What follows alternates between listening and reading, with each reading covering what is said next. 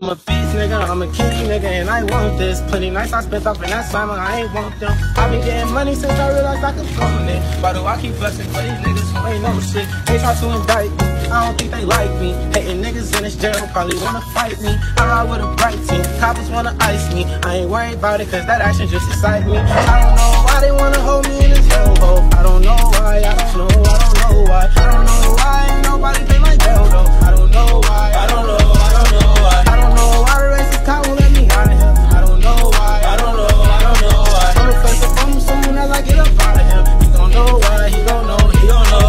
feel like I'm all alone now.